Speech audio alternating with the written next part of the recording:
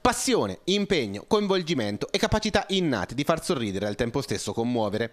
Tutto questo e molto di più è la compagnia Eubina del Teatro della Fama, pronta a tornare dopo il lockdown domani sera alle 21.15 nello spettacolo che parte integrante della 59esima stagione estiva al Teatro Romano. Storia di Lupe Francesco, lo processo dello popolo. Questo è il titolo della rappresentazione che rielabora in forma dialettale tratti storici relativi al poverello di Assisi, pronta ad appassionare gli spettatori domani sera nella magica cornice del Teatro Romano con la possibilità di vedere sul palco anche un ospite speciale. Storia di Lupo Francesco innanzitutto sono dei testi che scrisse Lucio Vinciarelli insieme a Nicolò Favaro che noi abbiamo ripreso, eh, allargato perché in realtà è uno spettacolo di strada, lo facemmo in passato al mercato medievale o a San Francesco.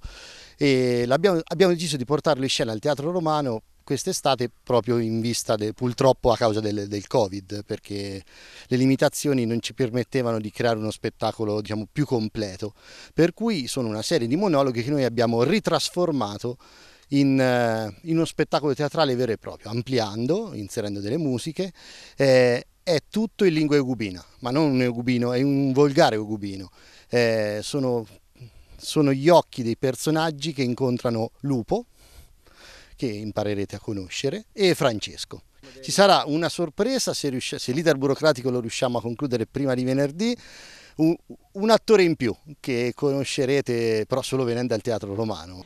Per i costumi medievali fondamentale il supporto di Maggio Gubino e Società Balestrieri. Le suggestive scenografie invece sono state offerte dal quartiere di San Giuliano. Esordio alla regia per Cecilia Pastorelli, mentre caratteristica è anche la locandina che preannuncia l'evento messo in atto in collaborazione con Giugi Teatro Servizi.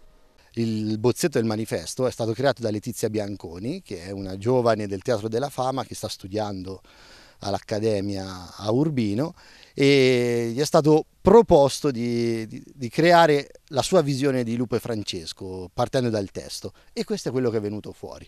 Siamo ancora in piena estate, la pura del Covid è ancora viva, ma la volontà del Teatro della Fama è quella di guardare oltre e continuare a lavorare su nuovi progetti teatrali in vista del 2021. Appuntamenti futuri eh, ce ne saranno sicuramente, un po' sulla scia di eh, Romeo e Giulietta che abbiamo fatto sia l'estate scorsa qui che quest'inverno prima del Covid, precisi prima del Covid a Teatro Comunale. Un bel lavoro soprattutto anche con i ragazzi giovani sul, eh, sul mestiere dell'attore, aiutati e coadiuvati da Riccardo Tordoni che ci aiuta e ci guida in questo momento storico de della compagnia. Quindi preparatevi perché nel 2021, scaramanticamente parlando, andremo in scena con un qualcosa di, di nuovo.